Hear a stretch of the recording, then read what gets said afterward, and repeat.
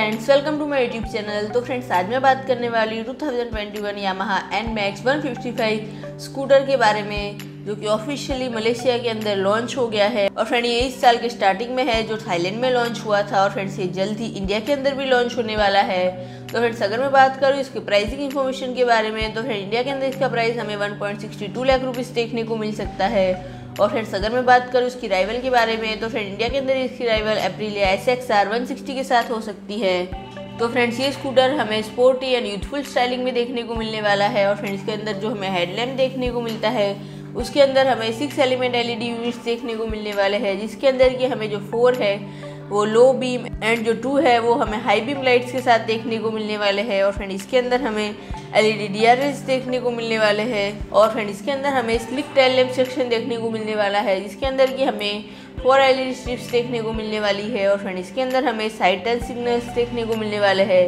जिसके अंदर की हमें ट्रेडिशनल हेलोजन यूनिट्स देखने को मिलने वाले हैं। और फिर इसके अंदर हमें 23.3 लीटर का स्टोरेज स्पेस देखने को मिलने वाला है। और फिर इसके फ्रंट एप्रोन में हमें यूएसबी सॉकेट देखने को मिलने वाला है। और फिर अगर मैं बात करूँ इसकी सस्पेंशन सेटअप के बारे में तो फ्रेंड इसके फ्रंट में हमें telescopic up fronts and rear में हमें ट्विन सॉक एब्जॉर्बर्स देखने को मिलने वाले हैं। और फ्रेंड अगर मैं बात करूँ इसके ब्रेकिंग सेटअप के बारे में तो फ्रेंड इसके फ्रंट एंड रियर में हमें टू थर्टी mm की रोटर ब्रेक्स देखने को मिलने वाली है।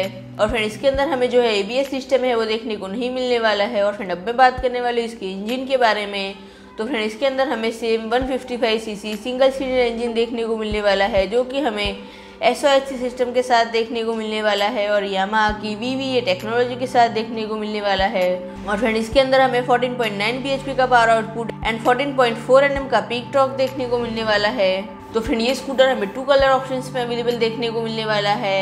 Anodize red and power grey colour में देखने को मिलने वाला है। फ्रेंड जैसे कि मैंने बताया कि ये स्कूटर जल्द ही इंडिया के अंदर लॉन्च होने वाला है। और इसकी rival Aprilia S X R one sixty के साथ होने वाली है। तो फ्रेंड्स आज के लिए इतना ही। तो फ्रेंड इसी तरह से हमारे new informative and automotive videos देखने के लिए हमारे चैनल को सब्सक्राइब करें और नोटिफिकेशन बेल दबाना ना भूलें, ताकि हमारे आने वाले हर वीडियो की नोटिफिकेशन आपके पास जल्द से जल्द आए। और फ्रेंड्स वीडियो अच्छा लगा हो तो लाइक करें शेयर करें कमेंट करें।